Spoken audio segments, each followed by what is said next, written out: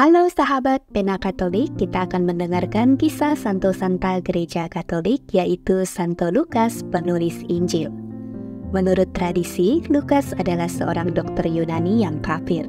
Namun, ia adalah seorang yang lembut serta baik hati. Ia mengenal Kristus melalui pewartaan Rasul Paulus. Setelah menjadi seorang Kristen, ia pergi menyertai Paulus ke berbagai tempat Lukas merupakan seorang penolong yang banyak membantu Rasul Paulus dalam mewartakan iman. Santo Lukas adalah penulis dua buah kitab dalam kitab suci, yaitu Injil Lukas dan Kisah Para Rasul. Meskipun Lukas tidak pernah bertemu dengan Yesus, Lukas ingin menulis tentang dia bagi umat Kristiani yang baru bertobat. Jadi ia berbicara dengan saksi awal yang mengenal Yesus secara pribadi. Ia mencatat perbuatan Yesus yang mereka lihat dan sabda Yesus yang mereka dengar. Menurut tradisi, Lukas memperoleh sebagian informasi penting dari Santa Perawan Maria sendiri.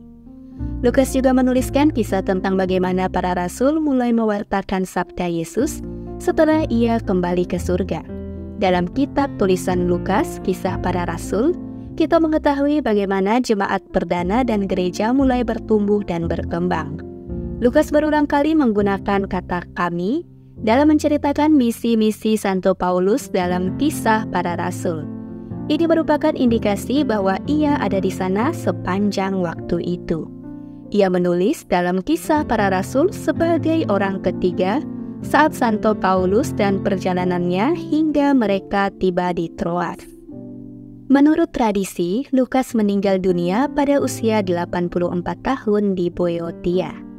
Pada tahun 1992, Uskup Agung Gereja Ortodoks Yunani wilayah Athena dan seluruh Yunani atas nama Gereja Katolik Ortodoks Yunani meminta kepada Uskup Agung Venesia Antonio Matiaso di Padua agar relik Santo Yukas dapat dipulangkan dan akan ditempatkan kembali dalam makam penginjil suci tersebut.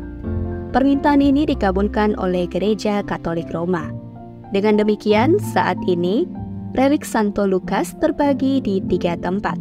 Sebagian tubuh di biara Santa Giustina di Padua, sebagian lain di Katedral Santo Vitus di Praha, dan sebagian yang lain ada di makamnya di Thebes, Yunani. Demikian informasi yang bisa Mimin sampaikan, semoga menjadi berkat bagi kita semua. Terima kasih dan sampai jumpa pada video selanjutnya.